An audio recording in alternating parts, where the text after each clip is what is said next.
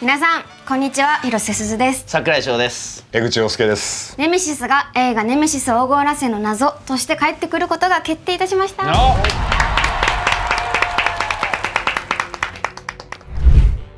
映画ですって。映画だよね、うん。ですって。どう思いました？映画やるってなるって。いや前回もかなりこうスケールの大きいうん。セットであったりとか、美術とかアクションであったりとかお芝居も結構なこうエネルギーを使うことが多かったので、やりきった感があったんですけど逆にどういこう映画として進んでいくのか出来上がるのかなっていうのは、ある意味楽しみにもしつつ、んほうってなってました。ほーってなった？はい。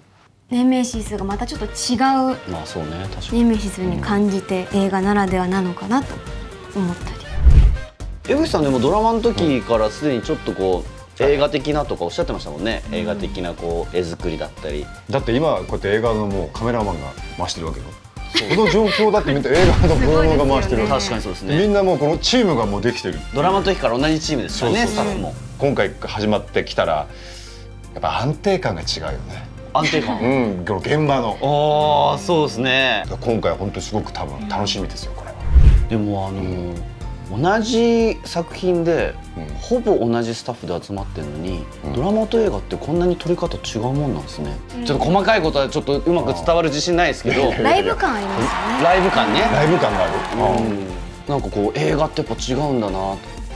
変わるんだなっていうのをちょっとなんか実感してるところではあるんですけどね、台本を最初読んだ時に、映像化イメージできました？僕はできませんでした。できませんでしたこれ難しかったですね。そうそうそう、はい。これ映像になったらどうなんだろうって感じそうそうそう。ししましたよね。で最初にあの、まあ、準備稿もらって、はい。あれ？あどこ行くのかなっていう感じから、第2項が来て、であここに持っていくんだっていう。で急にこのずみんなでやってるこの座組のこの世界観をそこに持っていくんならこれは面白くなりそうだぞって俺はちょっとこねう、うん、エンジンかかったじでしたけどね。ちょっとあのドラマの雰囲気ともまたちょっと違いますよね。ね。ね。楽しみだよね。どういう映画になるのかどういう映像になるのかってういうの読めないんだよね。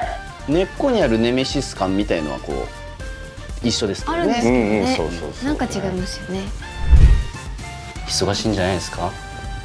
感情がね。ね忙しいですね。え。ねでもなんかお二人に会うとはあ今日は普通でいいんだ思える日もあれば 一人になるとなんかこうあーそうだ結構今回はちょっと、うん。ズンとこう落ちる瞬間もあるので、えうん。なんか楽しいですけどねドラマの時と違って、うん。うん。もうなんかもうすーちゃんなんかもいろいろもう監督とさ社会にこう一石投じるような、とこをこうさもうどんどん経験してきてさ、楽しみだったもんもう。またちゃんとやるのが絶対変わってるはずだ、うんうん変わってんだやっぱり。やってるとこ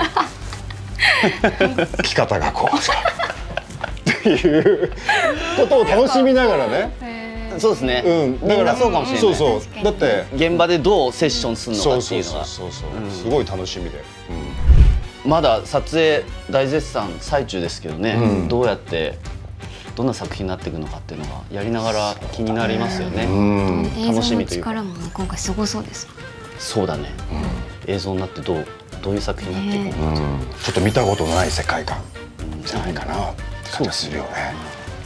楽しみですね、絶対見に行こう。えじゃあ私も行こう